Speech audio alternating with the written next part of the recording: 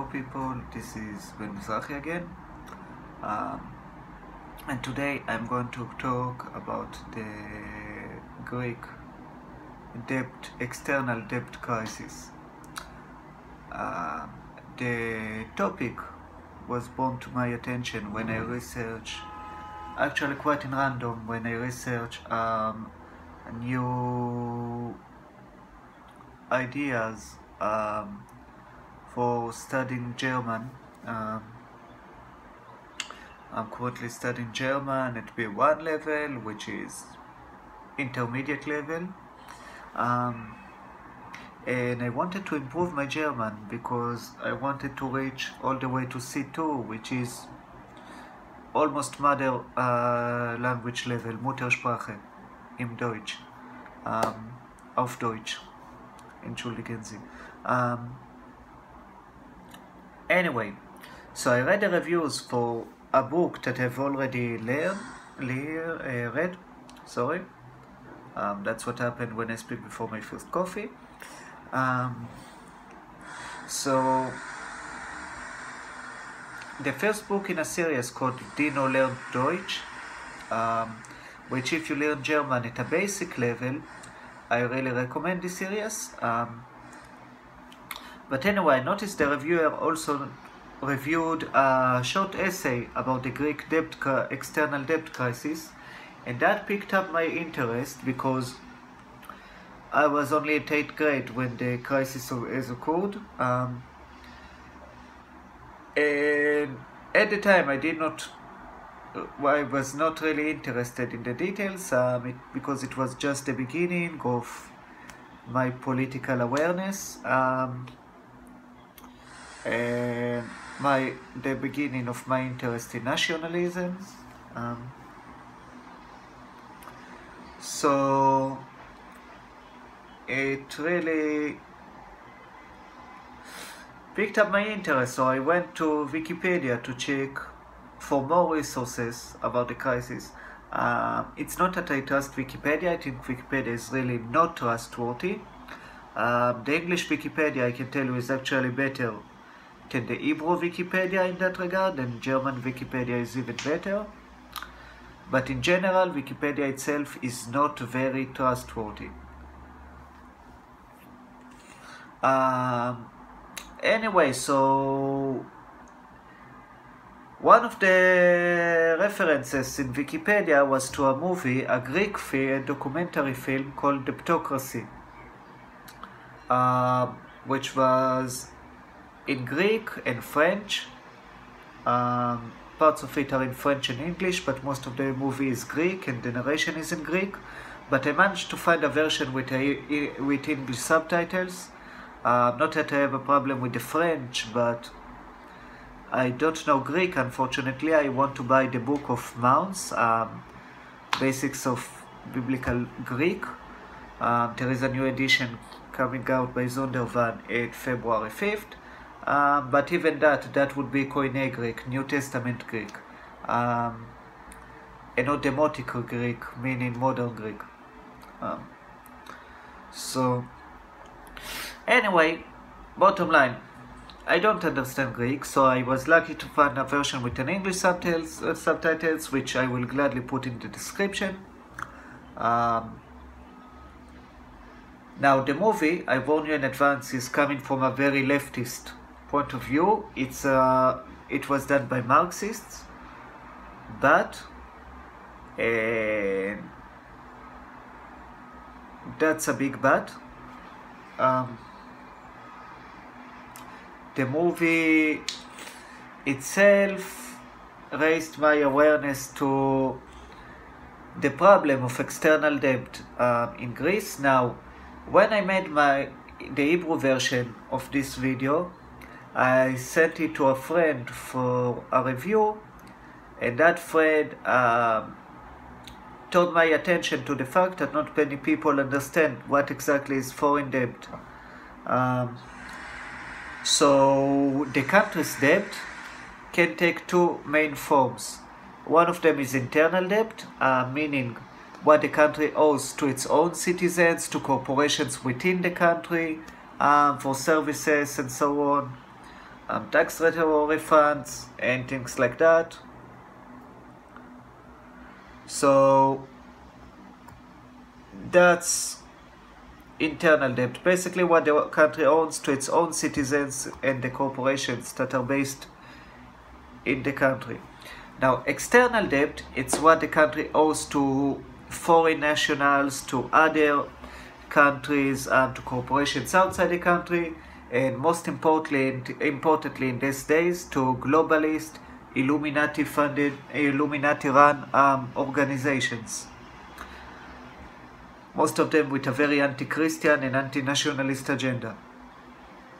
Um, so the movie um, actually picked up the fact that the main problem with Greek foreign debt was not the foreign debt itself, which is problematic in itself, but that's not what immediately caused the collapse.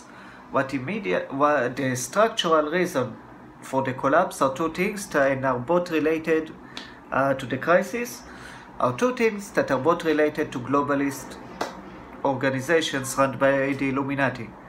One of them is the introduction of the euro by the European Union, um, an organization run by communists with an agenda to destroy Europe and annihilate European culture, um, and especially Western Europe, because they know that Germanic and Celtic people are actually descendants of the ten lost tribes of Israel. Um, I have done a video uh, at a basic level about this topic, which I will put in the description. But they know um, that, great that the people of Celtic and the Celtic and Germanic people are the Israelites. That's why they are trying to destroy them and destroy the rest of the European nations um, by imposing Marxist laws, by creating artificial crises such as in the PIGS countries, uh, Portugal, Italy, Ireland, Greece, and Spain. And of course, try to destroy Europe for my team by uncontrolled mass non-white immigration. Because God reserved Europe for the white race, uh, just as He reserved Africa, most of Africa for black people, uh, and Eastern Asia for Asians, and so on and so forth. Um, so we so the introduction of the Europe basically create a created a lot of strains of economically weaker nations uh, within Europe because they lost all control over their own currency. They cannot really do anything if the Europe if the euro loses or gains value. Um, so um, um, where was I? Sorry, I was distracted by a message um, on WhatsApp. So, Europe, uh, so the European Union uh, nations that enter the Eurozone, um, and by the way, you don't have a choice whether to enter the Eurozone or not. According to European Union regulations, when you crossed a certain economic threshold, you must switch to the euro.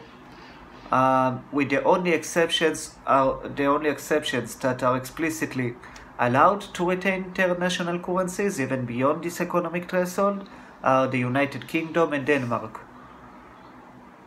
Um,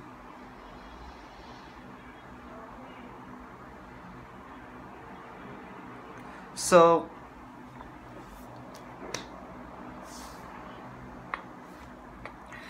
Um, where was I? Sorry, another WhatsApp message. Um, the dumb talk about if Christmas is pagan or not. Um, maybe I should actually make a video in the future showing that Christmas is not a pagan holiday. It actually is most probably the birthday of Christ. And even if it's not, it doesn't matter. Uh, and celebrating Christmas is a celebration of the birth of Christ Um, and of course, the fact that Christ liberated us um, from Judaism by the fact that we don't celebrate Hanukkah, which occurs always also in December um, or early November at the earliest. So anyway, returning to the topic, um, so all the European nations, countries that crossed that economic thresholds um, forced were forced to enter the eurozone, um, except for Sweden because they manipulate their own economy in order to not cross this threshold uh, because they don't want to switch from the Swedish krona to the euro, which is smart for them. Um, anyway, Greece was no exception. It had to enter the euro, the eurozone. Um, and it lost all control over their own economic future, of their own economic fate, of their own economy. And that really helps them to enter a crisis because they cannot manipulate their own currency to lessen the, to lessen the crisis, um, like they did when they still use the drachma, the Greek former national currency. Um, another globally intrinsic, uh, another root cause for the collapse was the IMF, the International Monetary Fund, another organization run by the Illuminati globalists. And they actually loaned money to Greece like they did to many other nations around the globe. Um, I think also Israel has some debt to the International Monetary Fund. I need to check it. Um, but anyway, the conditions for the loan put such a strain on the Greek economy and the Greek people that it almost turned the Greek state from within with internal riots uh, which of course deepened the crisis. Um,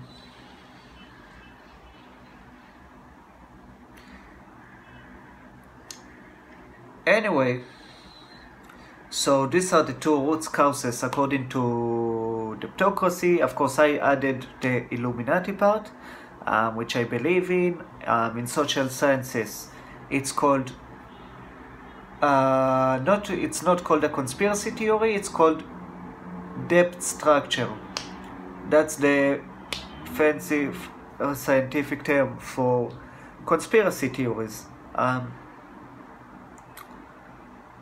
so conspiracy theories um, are called deep structures. Um, their scientific definition is a phenomena a phenomenon that you cannot watch directly but you can actually watch the effects of that phenomenon. So for marxist for example because this movie debtocracy was from marxist point of view the imf loans and the external debt of greece and the effects of the euro on weaker nation are all effects of the bourgeois superstructure um, and that we cannot watch directly. I mean, there is no such a thing that we can watch called bourgeois superstructure, but we can watch its effects according to Marxism. So, if you want to know where I come from, just switch the bourgeois superstructure with the Illuminati and the New World Order. You cannot watch them directly, but you can watch the effects in many instances. Uh, and the debt, Greek debt crisis is just one effect out of many. And in the next videos in the series, I hope there will would only one more video in the series, but maybe there will be more.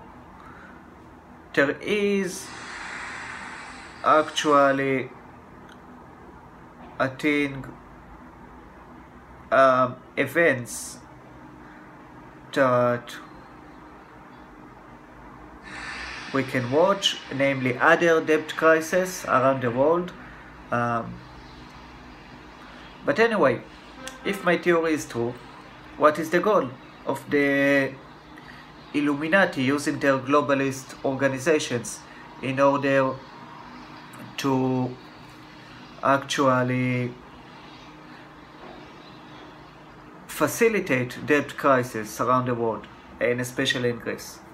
Now my theory is because I've noticed something interesting with the parallel debt crisis from the 80s um, until today that all the countries that were affected, nearly all of them, had nationalist governments that tried to strive for a relatively ethnic homogeneous, homogeneous ethnic nations. Um,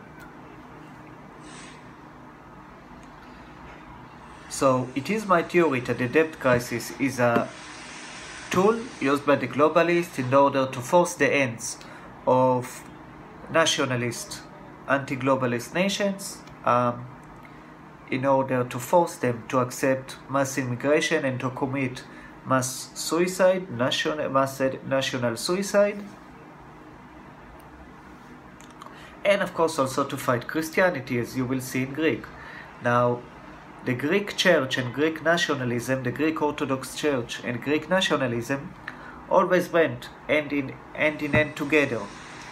Um, many Greek nationalists were faithful Orthodox Christians.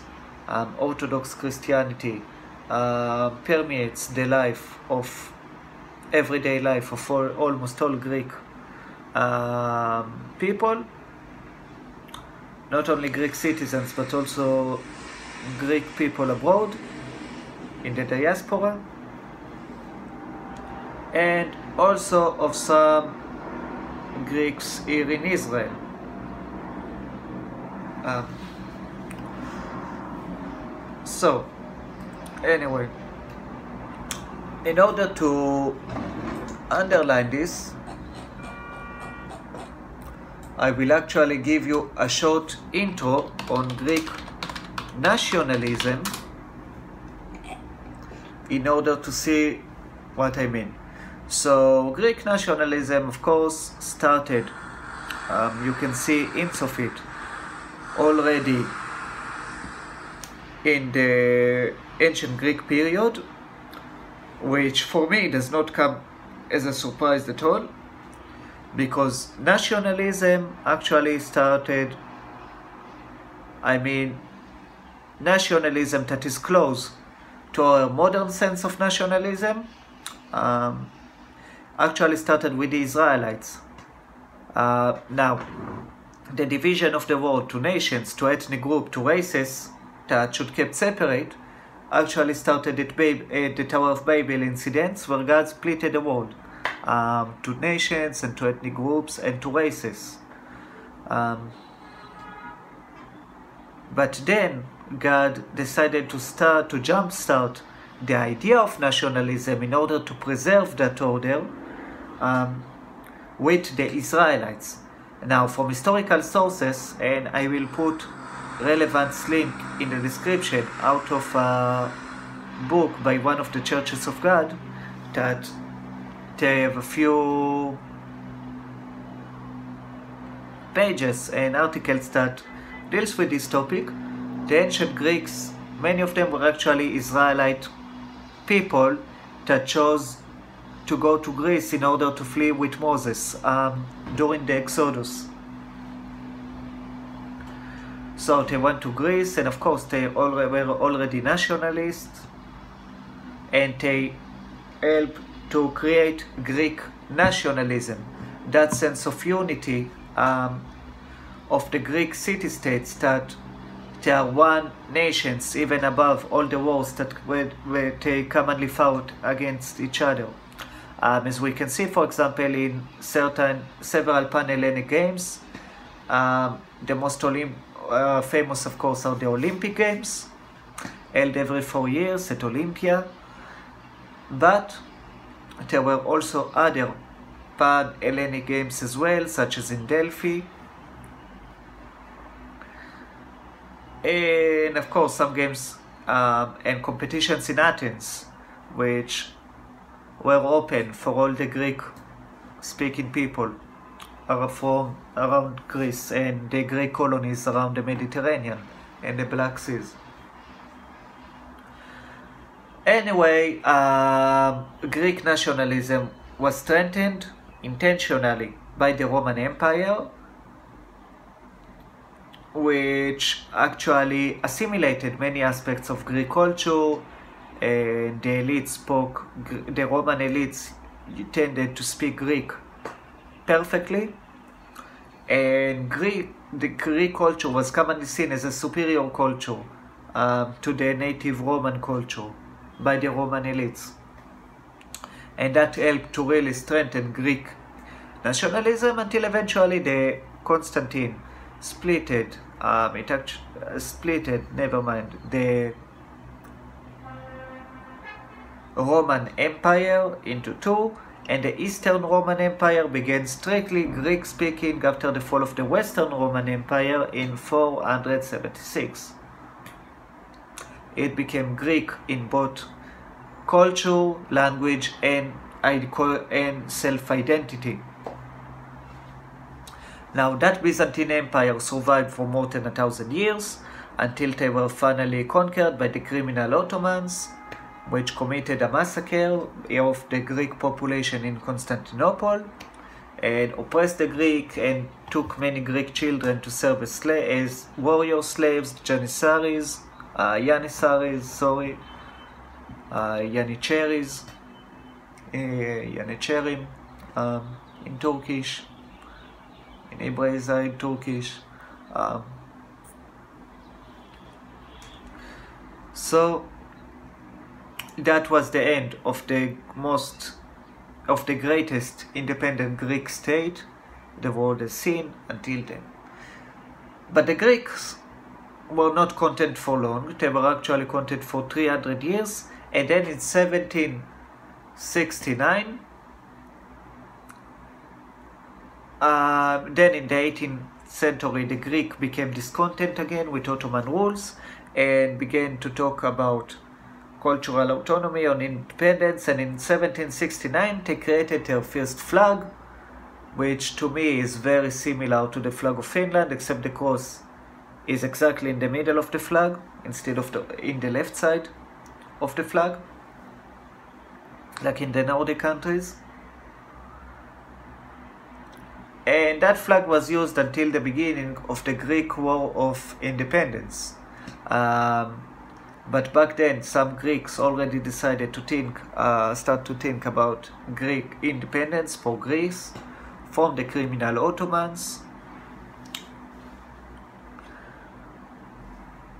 and they created their own flag. Of course that wasn't mostly in Greece itself because Greece was under the control of the Ottoman police state.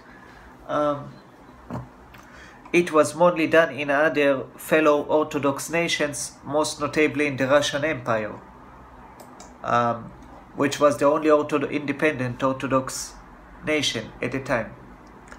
Now, eventually, at 1814, um, Greek exiles um, in Odessa and other places in the Russian Empire, but mainly at Odessa in modern day Ukraine, but then part of the Russian Empire, has decided to establish an organization called the Filiki Eteria. Okay, Eteria.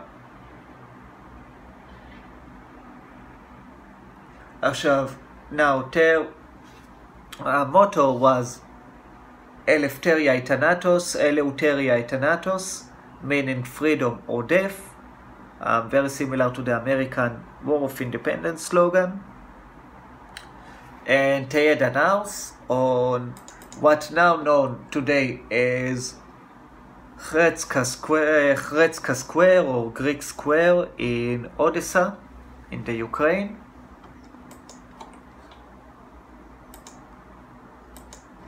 Um, and and that organization was founded by Emmanuel Xanatos, Xanthos, and their aim was to create an independent Greek state.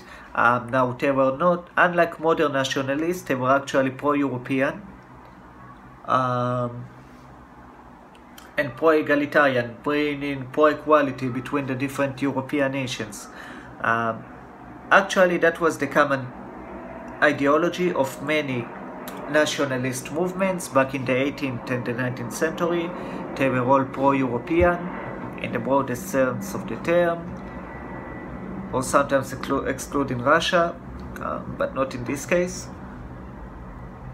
And they saw them is equal to other European nations. That sense was destroyed by two events. One of them is World War II, thanks to the National Sozialistische Arbeitspartei, uh, sorry, National Sozialistische Deutsche Arbeitspartei, and which saw itself as superior, uh, German people as superior to Mediterranean and Slavic people.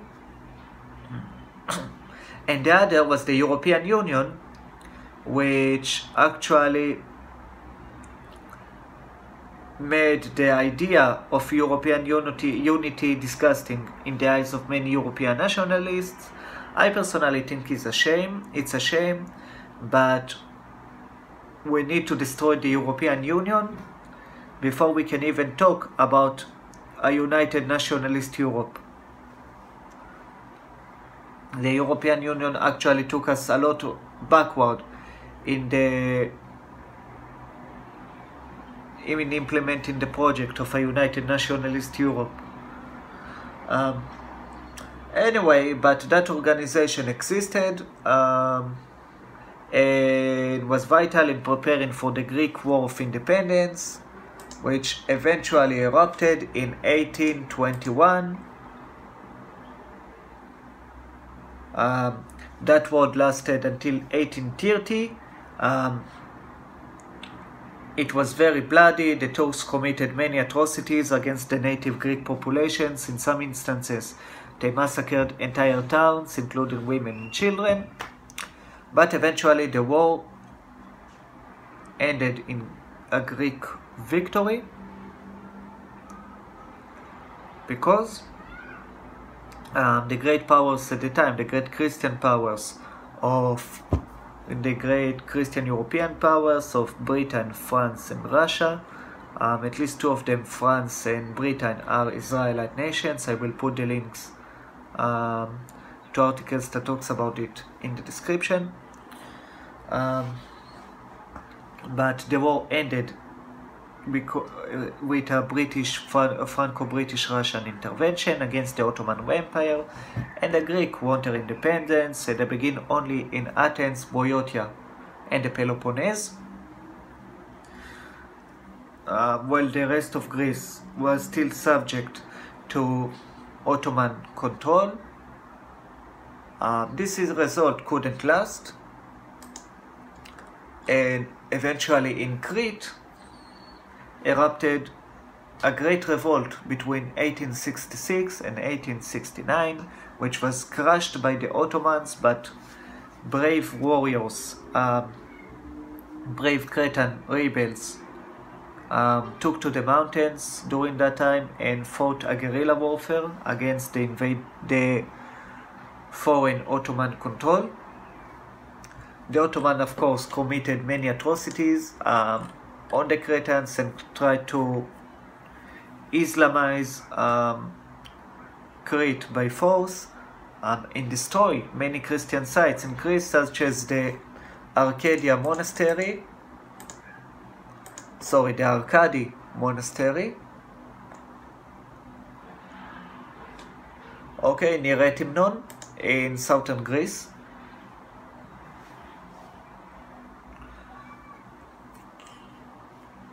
Now,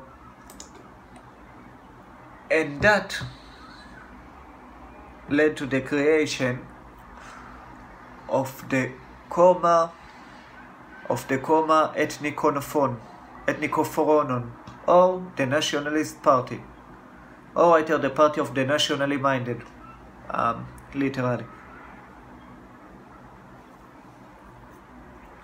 That was the first party I'm aware of that started to, that conceived the Megali idea, meaning the idea of Greater Greece, um, including all the parts of Greek today and Thracia and Ionia, um, the area of the modern day Turkish terrorist entity. Um,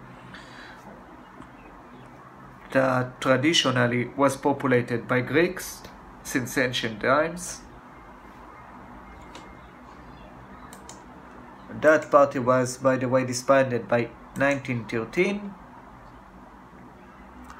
But before that, Greek nationalism managed to instigate two major fights against the, the Ottoman Empire. One of them is the Macedonian struggle between 1893 and 1908 um, in Ottoman Macedonia.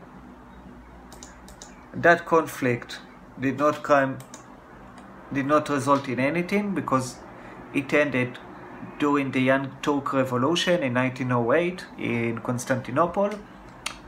Uh, the Young Turks are, by the way, the guys that ordered the Armenian genocide. But there were during that 15, those 15 years in Macedonia, there were clashes between everyone and everyone else. I mean, Greeks, Macedonians, Serbians, the Ottoman army, even the Romanian, our Romanian minority in Macedonia, in northern Greece today. Uh, overall, it is estimated that slightly less than 700 fighters died and approximately 1250 civilians died during those 15 years because of that struggle. But that struggle did not come into any fruition. Um, but then, only four years later, in 1912, came the First Balkan War, which finally evicted the, Ottoman, the Ottomans from the Balkans, and from all of the Balkans, all the way to the modern day Turkish, uh, Greek and Turkish Bulgarian border. The war was fought by Greece, Montenegro, Serbia, and Bulgaria against the Ottoman Empire. They crushed the Ottoman army, and seven months after that, almost eight months after that, in 13 May 1913, uh, an armistice was signed, and the Ottomans were evicted from all the Balkans. Greece reached its modern day borders, roughly. Um, beside the Dodecanese, which were under Italian control. So the Greece won Thessaly, Epirus, and Macedonia, um, modern day Greek Macedonia, um, during that war. Albania got its independence during that war. Um, Serbia reached its roughly reached almost reached its modern borders. Um, Bulgaria actually took um, some area areas that today belongs to Greek um, on the, all the way to the coast of the Aegean Sea. But overall, the modern borders in the Balkans, um, at least of Greece, were actually established by hmm, by this time. Um, and of course, they were later changed dramatically after World War One, uh, when Yugoslavia was formed, and Romania reached the heights of his the height of his territorial expansion. So after the First Balkan War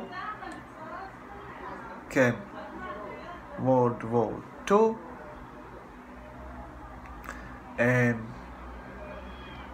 during World War II um, after World uh, sorry came World War One sorry that's what happens when I don't drink my coffee in time that was found, as we know, between 1914 and 1918 and the final peace treaty. In the our case, the Treaty of Sèvres was signed in 1920. Um, of course, the Treaty of Versailles was finally signed in 1922. That was the official end of World War One. But the Treaty of Sèvres with the Ottoman Empire was signed already in 1920. It was much more harsh on Turkey than the later Treaty of Lausanne, signed after the Turkish War of Independence in 1923.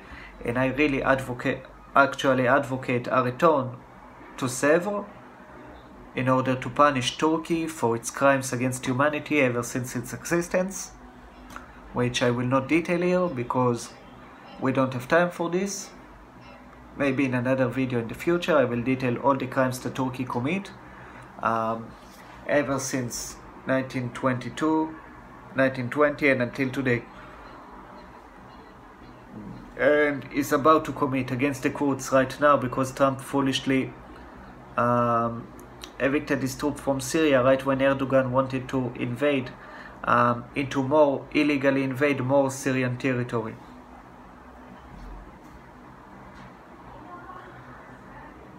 Anyway, so after World War II one and the Treaty of Sèvres, Greek actually almost achieved the Megali idea in its entirety. It received the city of Smyrna. Um, it was part of the mandate um, it's part of the mandate um, international mandate of Constantinople. Greece was part of that. But of course um, Kemal Pasha the guy we know today as Ataturk um, disagreed with that treaty. Um, and eventually in 1922 he conquered Smyrna, burned the city to the ground, killed a lot of the Greek population and then signed a treaty with Greece that of population transfer, many Greek Muslims um, were transferred to Turkey, thank God, and they should have stayed or transferred all of them. Unfortunately, there are still some Muslims in Greece. Um, Greek Christians that live in Turk in Smyrna and Constantinople in other parts of modern-day Turkey. Uh, for centuries were evicted by force into Greece, they arrived mostly at Saloniki. Um, and that was the start probably of modern day Greek nationalism. Um, ever since then, Greek was a relatively national state, and the Orthodox Greek Orthodox Church was very influential in the country um, until the debt crisis. In the debt after the debt crisis, two things happened. First, uh, Greek chose an anti-Christian government that wants to strip the Greek Orthodox Church of all of its powers and authority and second, after the start of the Syrian civil war, um, or I should say, I should say, after the sign, the start of the Western illegal invasion of Syria by, by proxy, um, Greeks was forced to accept immigrants from the Middle East that are a threat to, to the native Greek culture and ethnic identity um, and ethnic purity and in a later video I have to finish now because I have a debated Christmas uh, heated Christmas debate I want to join in um, where was I? In the next video I will detail um, analogous events, uh, debt crisis in Latin America, Russia and Eastern Asia. Until then, Okay, until then, auf Wiedersehen. Tschüss. And I will say in Greek, how to say in Greek, good morning. Kalimera.